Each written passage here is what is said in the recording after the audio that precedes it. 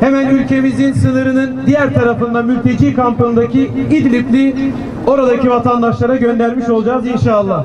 Malumunuz geçtiğimiz aylarda İdlib'de insani dram yaşandı.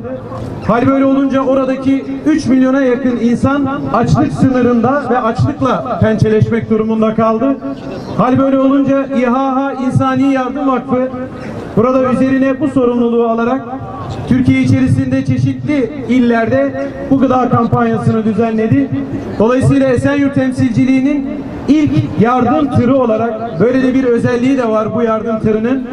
Mahallelerimizde, camilerimizde hemen sınırımızın diğer tarafındaki İdlib'li vatandaşlara bu gıda kampanyasındaki gıdalar inşallah bugün ulaştırılmış olacak. Rabbim Celle Celaluhu böyle acılarla bir daha Müslüman milletini karşılaştırmasın inşallah.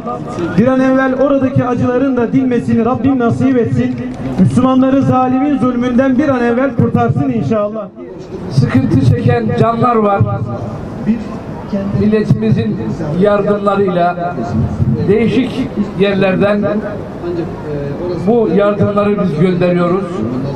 Bu yardımların oralara kazasız ve belasız ulaşmasını nasip eyle.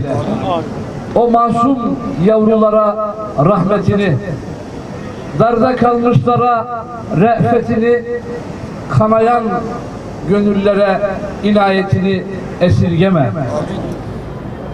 Onların gönüllerine fereç ve ferah ver.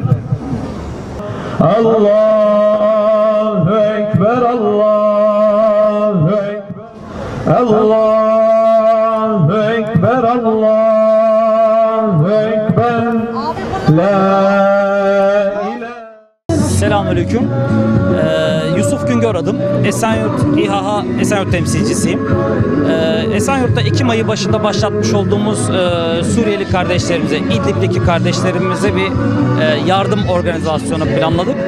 Bunun için önce e, Kaymakam Bey, e, onun öncülüğünde sonra Müftü Bey e, yardımıyla tabii aracılığıyla camilerde e, Esenyurt halkımıza bunu bilgilendirdik.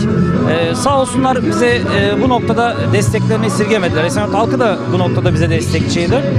Ee, biz ilk turumuzu bugün e, İdlib'e doğru uğurladık. Yola çıktı ilk turumuz.